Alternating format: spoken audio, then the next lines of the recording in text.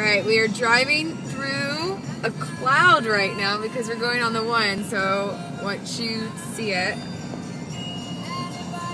it's super, super, super foggy and everything on the road. You can't even see some of the road half the way, but it's really cool. We're making our way to the beach. So here's another look at it.